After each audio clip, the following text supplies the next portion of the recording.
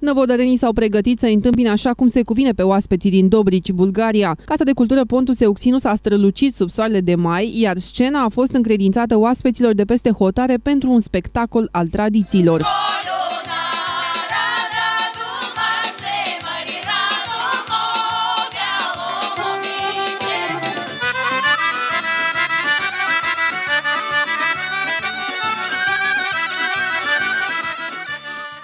Costumele populare, instrumentele muzicale și dansurile păstrate din străbuni din toate colțurile Bulgariei au întregit tabloul tradițional spre încântarea turiștilor de la malul mării și bucuria autorităților locale. Ideea proiectului transfrontalier este de a realiza un schimb de experiențe între cele două orașe turistice. După vizita autorităților bulgare, năvodărenii urmează să ajungă în perioada 6-7 mai în Bulgaria, unde vor pune în scenă un spectacol al tradițiilor și al datinilor românești.